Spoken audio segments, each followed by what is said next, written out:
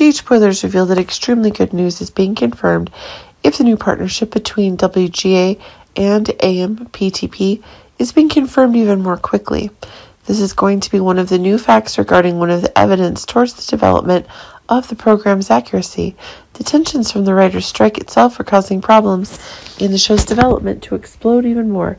But remember that when the strike has been going on for five months and there's still no sign of stopping, this is proving to be one of the new problems that are increasingly expanding. Remember that one of the explosions in the control was the producers of General Hospital were still unable to find a way to solve the problems if the writers themselves are being changed, but still not how to meet existing needs. But it seems that as one of the new crises is expanding, a deal is being announced. WGA and AMPTP have found common ground after months of not having not having certain amount of optimism in the storylines themselves, and of course the temporarily hired writers are not having a quick response fastest. But there seems to be never an expanding new problem if a new problem is being found in the beliefs themselves when there are no existing events.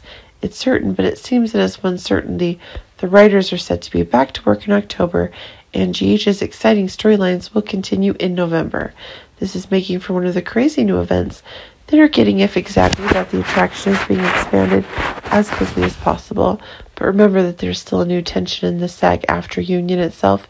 is still on strike and it's proving to be a new tension that's increasingly changing. But if one of the new follies in the reckoning is that actor Maurice Benard himself is getting confirmation that exactly new events in the show are being confirmed on the fly, and beyond that is one of the new explosive conditions that are being obtained. But keep in mind that while the writers are working on the exact action, it's the new action that needs to be addressed.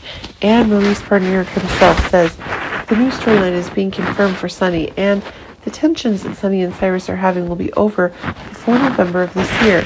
This is causing Cyrus to possibly have to leave the show again, and it also proves that the changes of the new characters can be returned and are making certain that when Jason himself is on his way back and is proving that one of the new crises is being confirmed.